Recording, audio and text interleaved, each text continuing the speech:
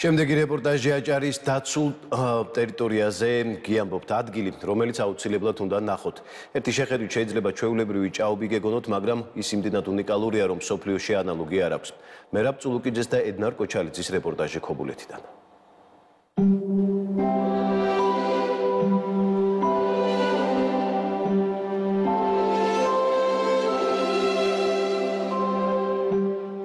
რით არის განსაკუთრებული ერთი შეხედვი ჩვეულებრივი ჭაობი და რატომ იზიდავს იგი მკვლევარებთან ერთად უამრავ ტურისტს თუ ისპანის ტერიტორიას ეწევით საინტერესო სანახაობასთან ერთად ბევრ მნიშვნელოვან ინფორმაციასაც მოიპოვებთ. ეს არის უნიკალური და მსოფლიოში ერთადერთი ფილტრავის ფაგნუმური ჭაობი.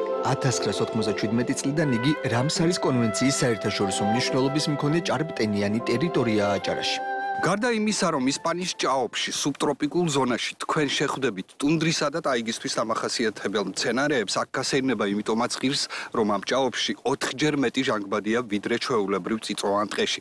გარდა ამისა, აქ შეგიძლიათ დალიოთ მსოფლიოში ყველაზე სუფთა წყალი. აი ეს ხავსი, რომელიც ღრუბლის პრინციპით იწოვს წყალს, გამოყოფს ფილტრაციის შემდეგ მსოფლიოში ყველაზე სუფთა წყალს. ისპანის იშვიათი ტორფნარი დაფარულია 25-45 სანტიმეტრის სისქის ფაგნუმით. სოფლიოში იშვიათი თეთრი ხავსით. წყალის ფაგნუმთან ერთად ქმნის გლუვ გუმბათს, რომელიც მოქმედებს როგორც ღრუბელი და არასდროს იფარება წყლით. სფაგნუმ შეუძლია საკუთარ წონასთან შედარებით 25ჯერ მეტი წყალი შეიწოვოს.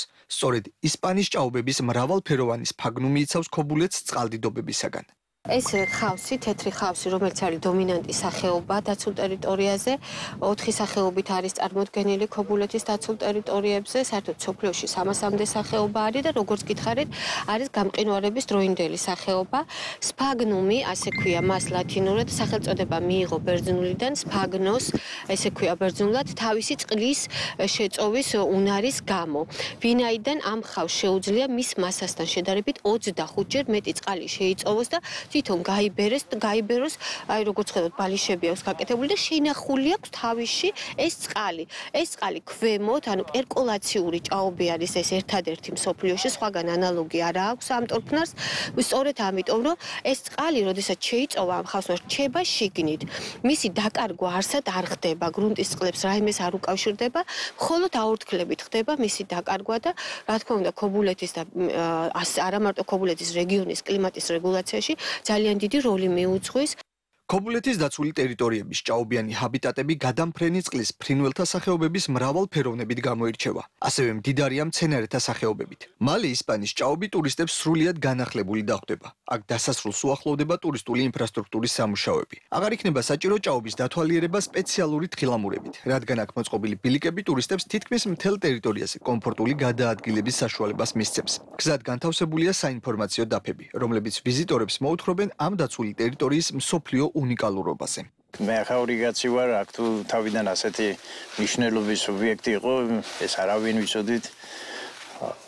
ტურისტებს რა თქმა უნდა რომ მოდიან, იგი ჩვენ გიდიან ყავს და შეიძლება ისდაგვარად რაც კი მოვისმენე, მომისმენია იმას უზიარებ ჩემსოდნას.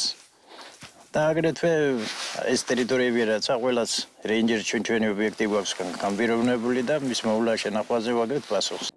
ისპანის ჭაობი წელიწადის ყველა სეზონზე თავისებურად გამოიყურება. გარდა იმისა, რომ გაზაფხულიდან დინარითა ნაწილი აქ ყვითელი დუმფარებით იფარება და ულამაზეს სანახაობას წარმოადგენს, ტერიტორიაზე კიდევ ბევრ უნიკალურ მცენარეს შეხვდებით. აქვე ნახავთ ულამაზესი ლურჯი ფერის ფრინველს ალკუნს. ასევე ეს ადგილები იშვიათი ჭაობის კუს საბინადროა. ამ ეტაპისათვის პირველი სამუშაოები დასრულებული არის და იწყება კოშკის საპარკინგი ადგილის ვიზიტორთა ცენტრის მშენებლობა. განსაკუთრებით მნიშვნელოვანია და აღსანიშნავია ის ფაქტორი, რომ საქართველოსი პირველი ადაპტირებული დაცული ტერიტორიის ბილიკები იქმნება ჩვენთან.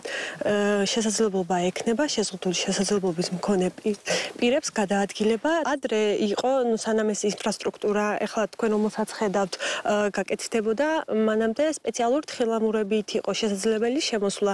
ვინაიდან არ დაზიანებულიყო როგორც ხავსი და ადამიანის უსაფრთხოებაც დაგვეცვა.